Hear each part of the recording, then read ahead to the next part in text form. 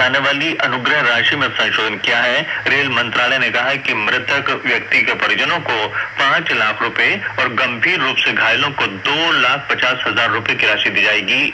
सामान्य रूप से घायलों को पचास हज़ार रुपए की राशि दी जाएगी। भारत ने मोहाली में पहले एक दिवसीय क्रिकेट मैच में ऑस्ट्रेलिया को पाँच विकेट से हरा दिया है। ऋतुराज गायकवाड़, शुभमन गिल, के एल राहुल और सूर्य कुमार यादव ने अर्धशतक लगाए। ऑस्ट्रेलिया ने भारत को जीत के लिए 277 रन का लक्ष्य दिया था। तीन मैचों की श्रृंखला में भारत ने एक शून्य की बढ़त बना ली है। दूसरा मैच रविवार को इंदौर में होगा। इसके साथ ही ये समाचार बुलेटिन समाप्त हुआ।